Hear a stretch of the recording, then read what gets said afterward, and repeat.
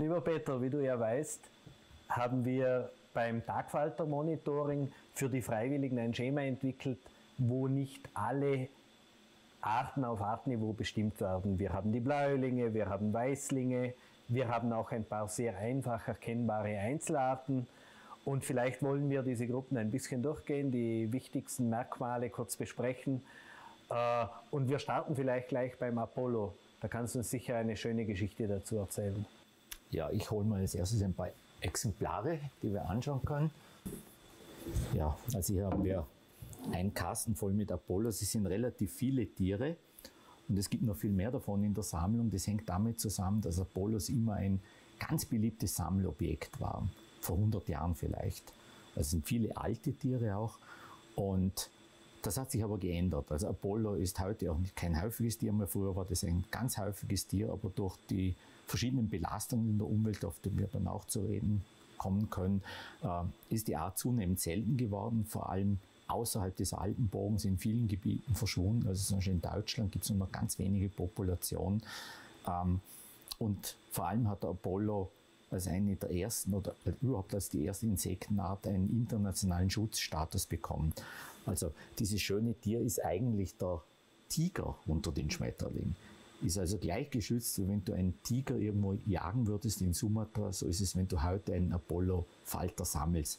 Also die Tiere sind durch Sammler überhaupt nicht mehr bedroht, ganz einfach, weil sie so streng geschützt sind und weil sie auch so selten geworden sind. Äh, das Interessante am Apollo ist aber natürlich auch seine Lebensweise. Also er ist ganz stark spezialisiert auf heiße, trockene Stellen, wo du die Futterpflanzen findest. Es ist der weiße Mauerpfeffer, ist die Hauptfutterpflanze. Und der wächst jetzt auch sekundär zum Beispiel an Flussufern, an Straßenböschungen. Auch da kann man bei uns manchmal Apollos finden. Und es ist eben also von dem her sehr interessante Art, die aber auch umgekehrt äh, nicht nur diese Raupenfutterpflanze braucht, sondern auch Saugpflanzen für den Falter. Und nur diese Kombination, dass ich auch irgendwo dann Blühstreifen habe, wenn die Falter im Sommer herumflattern, äh, ermöglicht dem Tier praktisches Überleben. Und die Hauptproblematik jetzt an den meisten Standorten ist die Aufgabe der Nutzung. Also die Tiere sind äh, eben an diese offenen Standorte, an die trocken heißen gebunden und diese Standorte wurden früher vor allem beweidet und die Beweidung hat sich nicht mehr gelohnt. Und an vielen historischen Stellen weiß man, äh, da war das mal offen und ist jetzt völlig verbuscht. Also da findest dann einen Wald und da gibt es natürlich keine Apollos mehr. Du sprichst damit ein sehr wichtiges Thema an, die Schmetterlinge, und deshalb beobachten wir sie auch im Tagfaltermonitoring, sind auch ein guter Indikator. Sie geben sozusagen Informationen über ihren Lebensraumpreis, welche Futterpflanzen dort zum Beispiel für die Raupen vorkommen können. Und deshalb ist es so wichtig, dass wir auch Schmetterlinge regelmäßig beobachten. Lass uns zu einer Gruppe kommen, die etwas häufiger ist. Die ganzen Schmetterlinge, die gerne Brennnesseln fressen, kleiner Fuchs, Tagpfauenauge, teilweise auch Distelfalter. Hast du dazu ein schönes Exemplar für uns? Ja, natürlich können wir auch etwas suchen. Zum Beispiel ein bekanntes Tier aus der Truppe der Edelfalter ist der Admiral. Und erzählt also hier zu den am häufigsten beobachteten Arten bei uns. Wir haben die hier auch abgebildet. Unverwechselbar, was nicht selbstverständlich ist. Also viele Schmetterlinge sind gut, also leicht zu verwechseln. Und das Interessante am Admiral ist, dass er eigentlich ein Profiteur der Klimaerwärmung ist. Also das heißt, Admiral hat es früher im Winter nicht gegeben. Das ist sozusagen ein Zugvogel, also wie auch andere Arten, wie zum Beispiel eben der Distelfalter, den wir mal anschauen können, wandern also aus dem Mittelmeerraum nach Norden und vermehren sich hier und können aber den Winter nicht übertauchen ist einfach zu kalt. Und das hat sich beim Admiral so in den letzten zehn Jahren geändert. Also er überhaupt jetzt ein anderes Verhalten, hat also Populationen auch nördlich des Alpenraums gebildet, wo man noch nicht ganz genau weiß, wie das funktioniert mit der Überwinterung zum Teil. Aber es ist sehr, sehr spannend. Es hängt nicht nur mit den Temperaturen zusammen. Man weiß nicht alle Faktoren. Aber jedenfalls Admiral, wenn man vor 100 Jahre, Jahren ein Tier im März gesehen hätte, wäre das eine Sensation gewesen. Und jetzt ist es eigentlich ganz normal. Äh, man kann den Admiral sehr häufig als Falter zum Beispiel äh, an faulem Obst finden. Und wie gesagt, er ist eigentlich ein, ein Klassiker, jetzt einer der häufigsten Tagfalter, den man hier bei uns in Mitteleuropa findet. Aber schauen wir deine Brennnesseltierchen noch an. Hier der Distelfalter. Auch ein Wanderfalter? Auch ein Wanderfalter.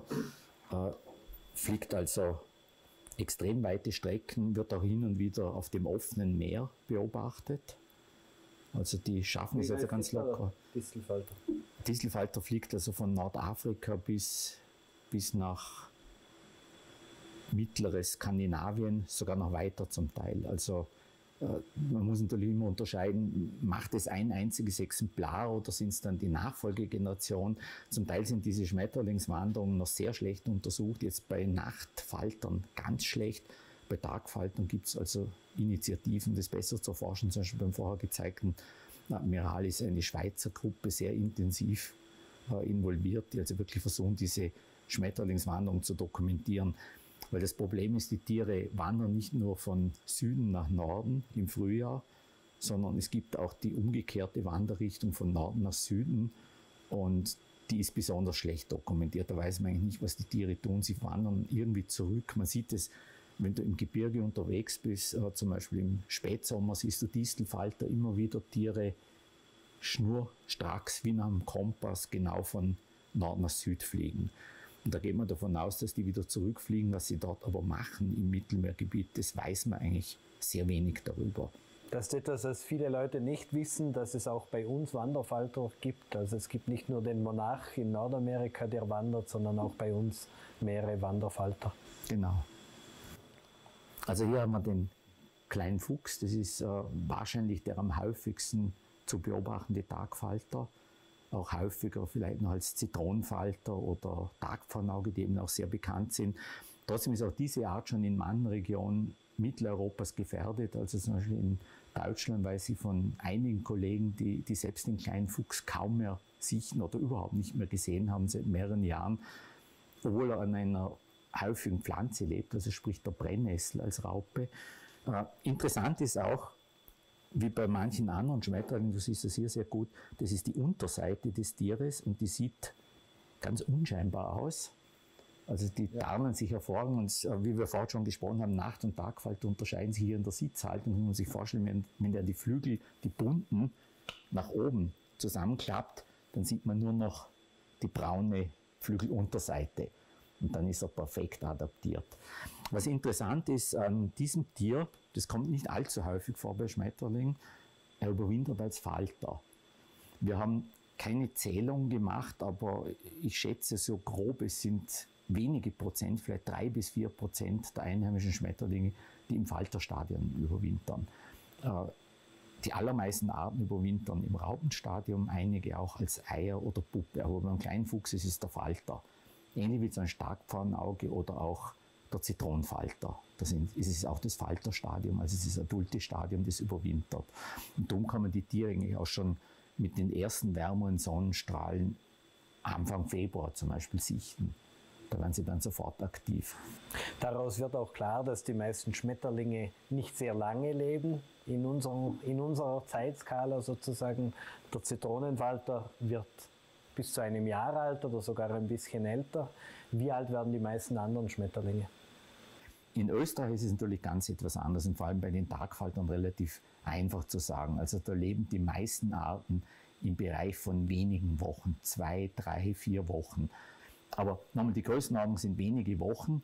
Äh, und wenn man jetzt auf die Gesamtschmetterlinge in Österreich schaut, dann variiert es natürlich ein bisschen stärker. Dann haben wir Tiere, die ein bis zwei Tage nur leben und also zum Beispiel sogenannte Sackträger heißt diese Gruppe und andere ja auch bis eben maximal diese elf Monate, also die du beim Zitronenfalter schon genannt hast. Also Zitronenfalter ist eigentlich der Rekordhalter für das Falterstadium.